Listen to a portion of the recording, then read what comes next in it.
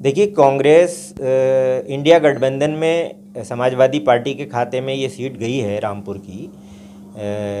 जो गठबंधन का कैंडिडेट आएगा, उसको कांग्रेस पूरी निष्ठा के साथ में चुनाव लड़ाएगी और मुझे पूरी आशा है कि वो चुनाव जीतेगा भी। ये एक ऐसी सीट है उत्तर प्रदेश की कि जहाँ पर गठबंधन का हंड्रेड परसेंट कैंडिडेट जीतना चाहिए। क्योंकि कांग्रेस ने भी इसको सात बार जीता है और समाजवादी भी कई बार इसको जीत चुकी है तो ये एक ऐसी गठबंधन की सीट है कि जहाँ पर कैंडिडेट को मैं समझता हूँ हंड्रेड परसेंट जीतना चाहिए और जो गठबंधन का कैंडिडेट होगा, उसको कांग्रेस पार्टी के तमाम लोग मिलकर चुनाव लड़ाएँगे और वो इंशाल्लाह जीतेगा। क्या मुद्दे रहेंगे? देखिए, मुद्दे सबसे पहला मुद्दा तो रामपुर में बेरोज़गारी का है और रामपुर से हटकर जो पूरा इंडिया लेवल पर भी अगर देखा जाए तो बेरोज़गारी मेन मुद्दा है। जो जो कानून व्यवस्था है वो उसका मुद्दा है। पूरे देश में हाहाकार मचा हुआ है इकोनॉमिकल पोजीशन ख़राब है पूरे देश की। तो ये तमाम मुद्दे हैं कि जिस पर जनता जो है वो वोट देगी।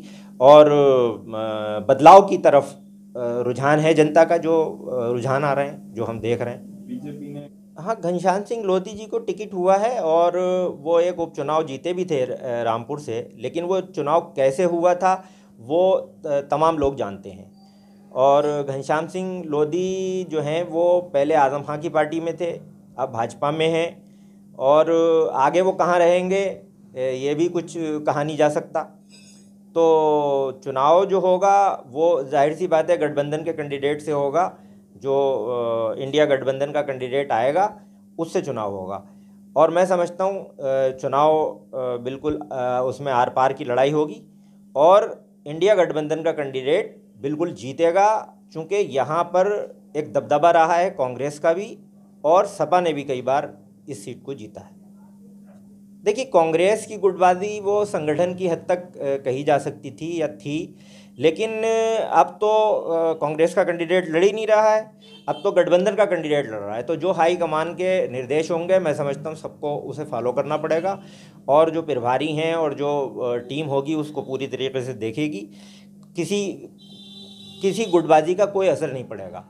मैं समझता हूँ कि पूरी तरह मजबूती के साथ गठबंधन का कैंडिडेट लड़ेगा और जीतेगा भी। आप किस तरह से कैंपेनिंग कर देखिए मैं मैं कांग्रेसी हूँ और जो हमारे हाई कमान के निर्देश होंगे आदेश होंगे उसका पालन होगा और गठबंधन का जो भी कैंडिडेट आएगा उसे मजबूती से लड़ाया जाएगा।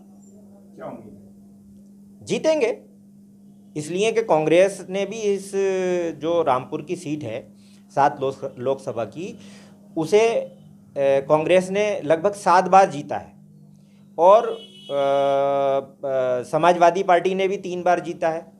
तो मैं समझता हूँ कि पूरी तरह इंडिया गठबंधन की दावेदारी रहेगी इस सीट पे और ये सीट जीतती भी मानी जाएगी।